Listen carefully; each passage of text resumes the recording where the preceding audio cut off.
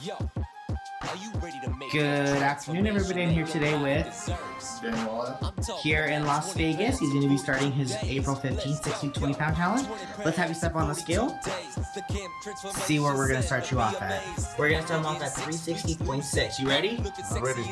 Hi, everybody. We're here with Daniel at the Camp Transformation Center here in Las Vegas. Uh, we're actually doing Daniel's final weigh out. He started with the initial weight of 360.8. So we're gonna have his final weigh out. So let's get on you on the scale, Daniel. And his final weigh out is 326.6.